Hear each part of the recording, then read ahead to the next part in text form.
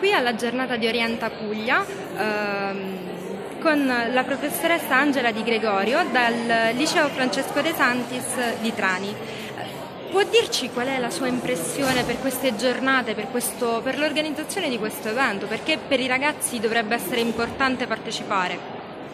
L'impressione è assolutamente positiva perché occasioni del genere sono preziose per i nostri alunni per trovare una bussola all'interno delle molteplici proposte che il mondo universitario, eh, il mondo dei percorsi post liceo riserva loro.